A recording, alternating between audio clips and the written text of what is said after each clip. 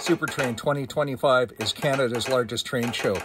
I was there to uh, show CW to kids at the Calgary Amateur Radio Association booth, but what I found was way cool, in addition to dealing with the kids, of course. Stick around, I'll show you all about it. Stay tuned.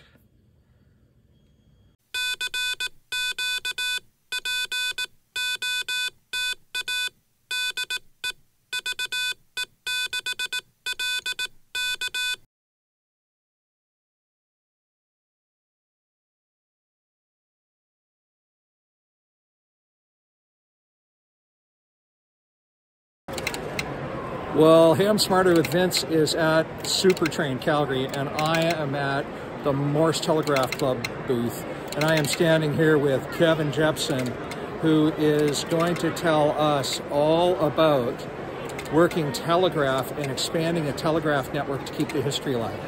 So Kevin, you're the lead technical guy for figuring out how to expand telegraph to all kinds of spots in Western Canada, right? Correct. And Yeah. so how many points of presence do you have now? Right now we have seven stations on the line.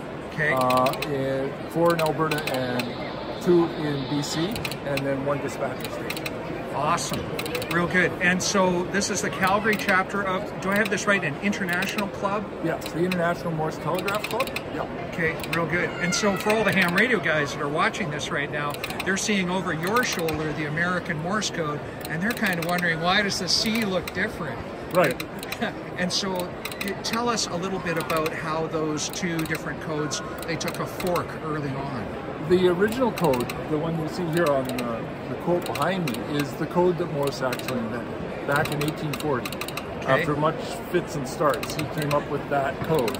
Um, there are some interesting things about that code. If you look at the C, there's a gap in it. It's Yes. two dots, a gap, another dot. There are several char- characters like that. The C is like that, the O is like that, the R is like that, the Y is like that, the Z is like that. Yeah.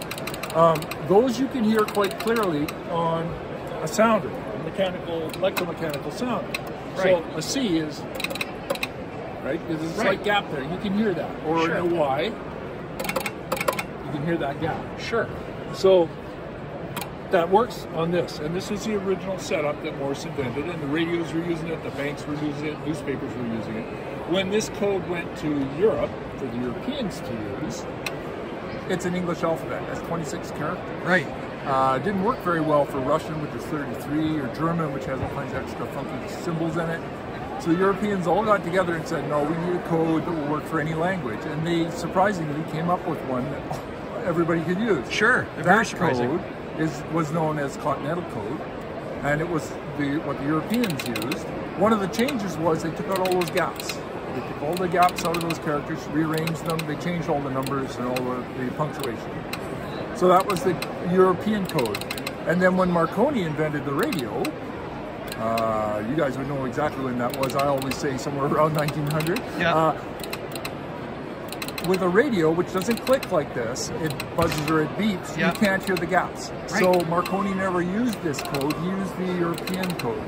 And then Oh. by the middle of the 1900s, so 1912, after the Titanic sank, every ship at sea by law had to have a radio. Right. And they were all using the European code.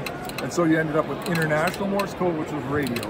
And uh, this became American Morse code to distinguish it. And this is what was used by banks and the railroads and uh, newspapers right up until the 1960s. Right on. Very good. And so now with this sounder and this network that you have uh, built out across uh, parts of Western Canada, um, one of your members was telling me that there's some computing and some internet technology involved. Tell us a bit about that. Well, what we've got on the back of this display here is we have a little Linux computer. It's about four inches by four inches by one inch. Okay. It's uh, a box that actually would go on the back of a TV to convert a dumb TV into a smart TV. Sure. Uh, it runs Linux and it's running a program that allows to translate the physical uh, communication, Morse, onto the internet. At the other end, at each of the stations on our system, is another one of those connected to real physical equipment, and it's translating it back in. So what you are hearing right now is coming from the server that's at the center of this thing, and it's the, the uh, headlines from the BBC. Sure. And it's just spooling them out onto the line, so we have some traffic. Um, at this show, we also have a physical connection from this station to the Heritage Park station at the other end of this aisle. Right. Uh, and they can hear this too. And so the line that we've set up with the seven current stations, eventually to be 32 stations, um, it is all museums that have physical uh, equipment or anybody that has physical telegraph equipment will be connected to that line. Very and cool. We get to keep this sound alive because nobody uses this for anything. The last message in this form was in 1973, and I believe it was in Esquimalt, BC. Right. And it was, this is the last message on the CP Right. telegraph system, and he shut it down. Uh, but we are trying to get this back up because the guys who actually know how to do this are pretty long in the tooth now. Yeah. and we're losing them. So we are getting young people interested and excited. We're doing training programs at Heritage Park in Calgary to teach them how to use this code. And then with our new system, they can. we have more people that are going to be able to use this code and we can chat back and forth across the internet. Right on. Kevin, thank you so much for taking time to talk with me today. My Uh, thanks very much. And so that is the great story of the Morse Telegraph Club, the club that aims to keep telegraph alive in our history. Uh, some guys that get really turned on about Morse code and the convergence of old and new technology. I hope you'd enjoyed this. I hope you saw the passion in their eyes. Go check out the Morse Telegraph Club and see if there's a local chapter. They are all over North America. Thanks for watching. Like and subscribe. 73.